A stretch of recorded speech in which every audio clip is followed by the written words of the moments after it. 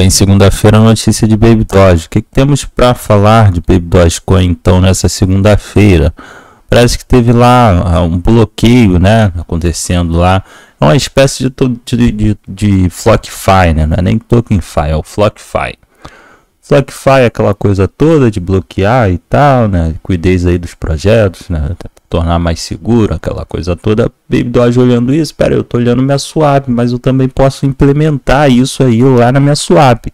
Até porque a gente pode expandir as redes e pode fazer com que outras pessoas aí, outros projetos aí possa estar tá vindo aqui bloquear a liquidez. E a gente monta uma capinha, faz tudo bonitinho, divulga, até porque vai atrair o exército de quem está vindo bloquear também. Vamos ganhar mais seguidores. Essa foi a jogada Baby Doge na parada. Então, Baby Doge diz que já está feliz em anunciar o tal do, do Starcoin.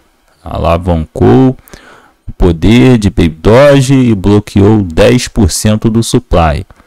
Segundo esse projeto, Star, ou PyStar, não sei como é que eu vou chamar isso daí, também foi oficialmente listado lá na Baby Doge Swap. Além disso, listou esse projeto.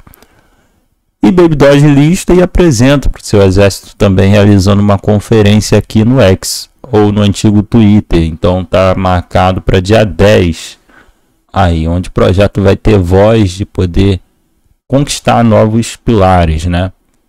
Bom, 18 horas UTC. Ali o Baby Doge é, motiva que outros projetos também possam bloquear aí parte dos seus tokens usando a swap Baby Doge, o token locker, né? É isso. Por isso que eu falo que o Baby Doge e o Flock sempre anda colado, né? À medida que um tem um projeto legal, o outro também vai dando um jeito de caçar um projeto legal. Os dois são muito, é, são muito parecidos em suas motivações.